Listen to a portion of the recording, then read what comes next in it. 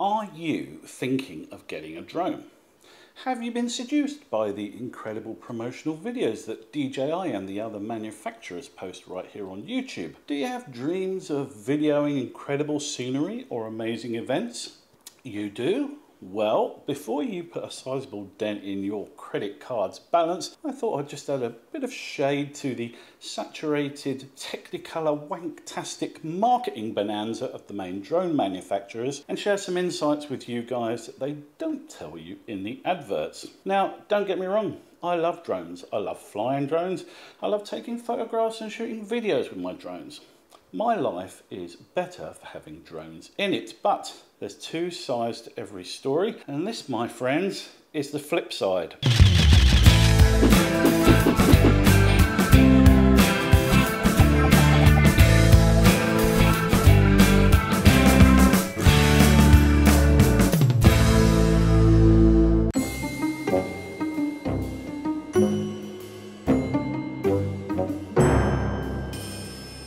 Like most new drone owners, my first tentative flight took place in the back garden. I got everything set up as per the instructions. I read and reread all the safety rules. I triple checked I'd attached everything correctly and then I hit the takeoff button. It buzzed to life and rose a couple of feet into the air. As it rose above the ground, my heart rate just about doubled and I fiddled with the flight controls in a hesitant fashion before flying the drone up about 20 feet in the air. My poor old heart couldn't stand the suspense for long though and uh, I flew it back down, landed it and carefully packed it back in its flight case before having a stiff drink to calm my nerves.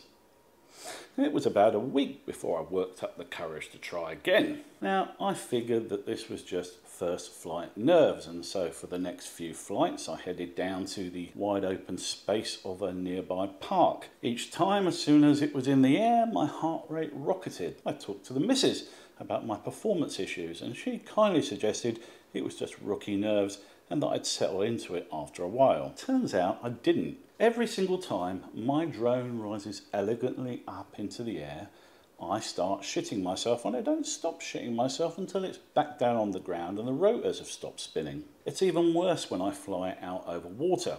When it's over land, I can kid myself a bit because I think, oh well, if it drops out the sky, at least I can recover it. But you don't get that luxury when it's out over the ocean. If your drone decides to fly away, as they sometimes do, or a motor fails or a passing wedge-tailed sea eagle savages it, you're fucked. When I'm flying the drone, occasionally the video feed glitches or cuts out completely and I shit myself all over again. I once used a non-Apple lead to connect my iPhone to the controller and it disconnected from my drone while it was 100 metres up and about 300 metres away over the ocean. And I damn near cracked myself then. DJI don't help matters by flashing High wind, land now, every time there's the slightest fart-sized breeze detected by the drone. So know this, unless you're sufficiently wealthy to not care about sending several thousand dollars flying up into the air where you control it with what might as well be magic, you will shit yourself. Welcome to the team, bring sturdy underwear.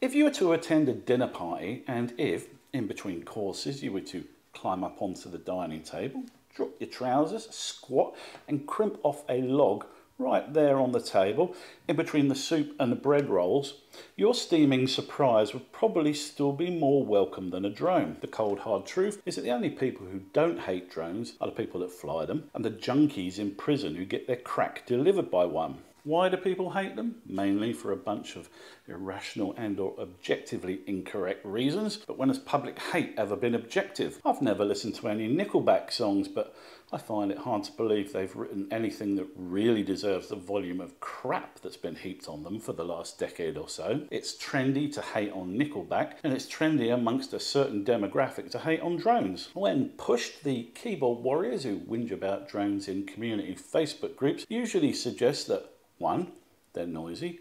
Two, they scare the wildlife. And three, they're used to spy on people. It's all bollocks, of course. They're only noisy if they're hovering a metre away from your head. Most wildlife couldn't give a shit about drones.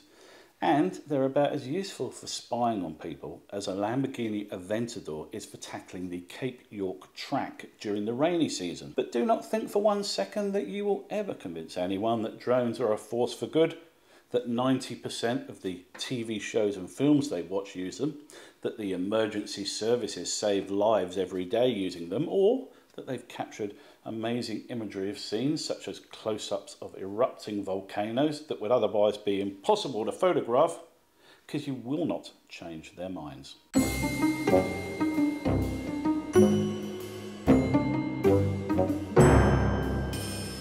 Yes, everyone hates drones, but you know what they hate more? The folks who fly them. You're a pervert, a spy, a criminal, a wildlife hater, a sad and pretentious geek, and a vandalising thug.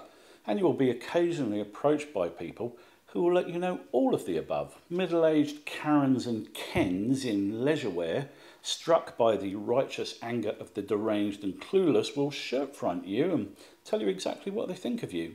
Yes, they are Muppets, but try and resist the urge to fly your drone into their face in sports mode.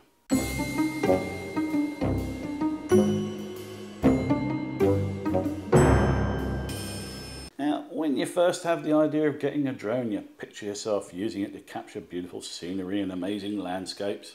What you probably don't picture is a load of paperwork and form filling and a set of regulations that make the rules of the road look like child's play. And to be honest, a few years ago it was a much easier hobby to enjoy. The rules of the sky that govern what aircraft can and can't do haven't changed much, but the attitude of governments around the world certainly has. So in many countries you'll now have to meet some licensing requirements, sit a test of some kind, pay an annual fee and register yourself and your drone. You'll also discover that certain organisations, such as those that are charged with the care of certain parcels of land, both public and private, have banned drones completely. So for instance, the US National Park Service has banned drones in all of its 417 national parks, 23 trails and 60 rivers. Certain state park authorities here in Australia have banned drones outright, as have similar organisations in the UK, Italy, France, Spain and countless other countries. There are also a whole bunch of rules in every country around the world governing what you can and can't do once your drone's in the air. And of course there are areas of restricted airspace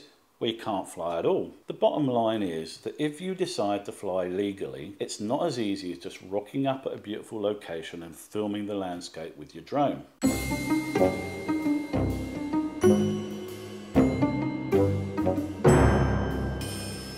Obviously this depends on the drone modelling question but the simple truth is that as they have become more advanced, drones have also become much less robust. You could throw a football at Phantom 3 and it would just shrug it off. Throw a football at one of the modern drones and it'll drop out of the sky faster than Superman in a kryptonite onesie. Old consumer drones used to be quite modular and easy to repair, but that is certainly not the case now. As the gimbals have become more advanced, the cameras better, and as the bodywork has evolved from glorified scaffolding into spindly legged wind warriors with advanced processors inside them, so they have become increasingly difficult to fix. FPV flyers are well used to fixing their quadcopters thanks to a modular design and engineered ruggedness, but repairing a Mavic 3 at home is a big ask. So if you do crash your drone and you haven't invested in insurance, such as DJI's Care Refresh package, you're looking at an expensive fix by a specialist repair company. It's also entirely possible, given the number of small ads selling drones for parts, that your drone cannot be repaired at all. So I have two bits of advice for this. Firstly, do consider getting some insurance, not necessarily DJI's Care Refresh. And secondly, get used to the idea that you may well go out for the day drone flying and come back with just your controller.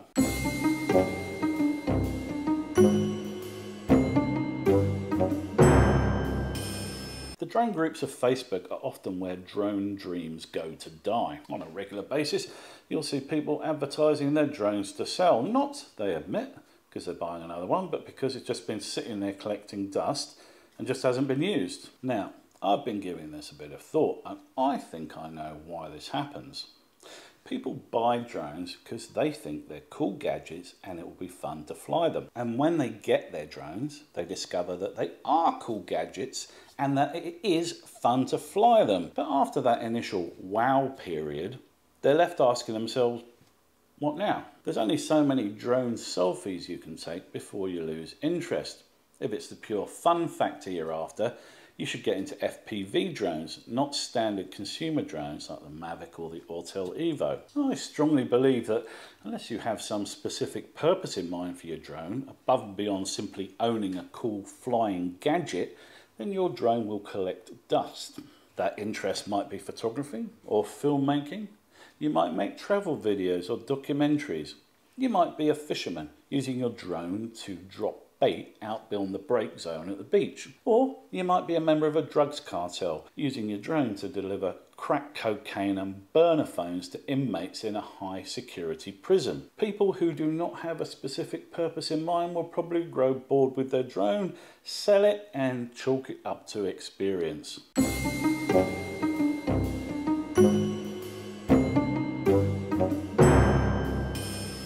I'm no conspiracy nut, but the fact is that the authorities here in Australia and elsewhere around the world are increasingly able to scrutinise most aspects of our lives through the technology we have all grown to love. And your drone is unfortunately no exception. Thanks to incidents like the Gatwick drone debacle, companies like DJI cooperated with governments to allow for the scrutiny of drones.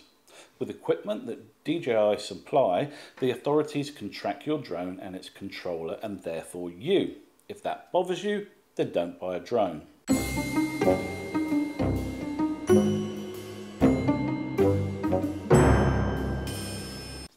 I'm a semi-professional landscape photographer. My definition, incidentally, of semi-professional is someone who treats it like a job, devotes a huge amount of time and energy to it, but makes less than the guy on the french fry machine in Macca's for doing it. But I digress. I got my drone because I like taking landscape photographs and making arty landscape inspired films and also travel films for my other YouTube channel which I'll link to. I'm also usually on my own. Now this is partly because I'm autistic and have severe ADHD. That's not an edgy joke, I really am autistic and I don't really do collaborations or you know have friends and stuff but it's also just easier to please yourself and set your own agenda without having to incorporate someone else's requirements into the scenario. What I didn't foresee when I got my drone is I would have to choose between it and my camera. For instance, if I'm out shooting a nice sunset at the beach, then I have to decide beforehand if I'm going to use the drone. And when I do, I spend the whole time wishing I could take photos of it with my camera. And when I decide to just take photographs with my camera, I often regret not having the drone in the air. It's a conundrum with no simple solution. Now, I have managed to do both on a few occasions by getting the drone set up beforehand and then flying it for a bit before returning to my camera, but it forces you to rush things. And when you rush things, you make make mistakes. Getting your drone set up, flying it into position, taking your shots, flying it back, bringing it down, packing it all up, that all takes a considerable amount of time.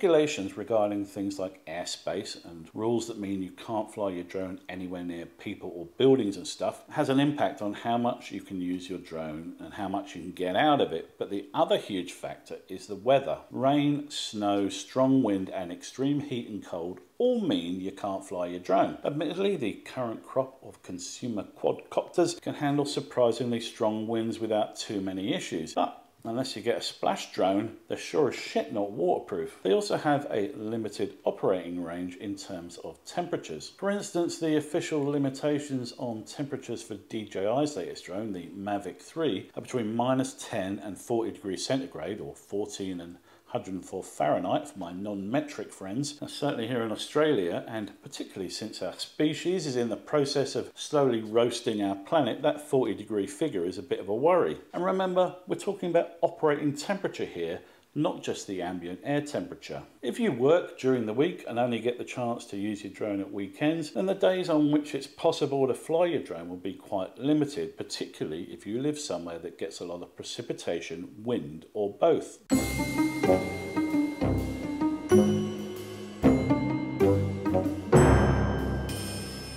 One of the white lies that people often tell themselves or their partners when they get a drone is that they'll use it to earn a bit of money. The most popular money making pipe dream is of course real estate photography. Unfortunately you'll probably quickly discover that your local realtors have been approached by several thousand drone owners over the years and the person in the shiny suit has heard it all before. Realtors tend to use just one person for their aerial photography, usually an established local photographer and you offering to undercut their pricing will almost certainly not tempt them. If you walk in off the street to offer your drone photography services to a realtor, then that fixed grin with which they greet potential home purchasers will fade quicker than the budget fake tan they've applied to their faces. It's certainly the case around here that realtors have also discovered that flying a DJI drone is really fucking simple. And they've simply started taking their own photos, cutting out the middleman completely. This is ironic, of course, because they themselves are middlemen. Anyway, other side hustles that Virgin drone owners imagine they'll earn money from include things like wedding and event work. This is a really hard gig to fight your way into and you will undoubtedly also need expensive public liability insurance, a full drone license with the extended accreditations and a high quality portfolio of prior work before you even get considered for this kind of work. You might feel that your Mavic Mini produces great footage but you'll also need a drone that shoots in a log video format at the very least. Consider also that shooting weddings and events is a very high pressure situation and there are no do-overs. Ask yourself if that's really something you want to put yourself through. Alright guys, those are my 10 things I've known before I got my drone. If you've enjoyed the video, please consider hitting that like button down there and for more of this kind of content, hit the old subscribe button and help me inch a bit closer to 1000 subscribers and the happy hunting grounds of YouTube monetization. Thanks guys, see you on the next one.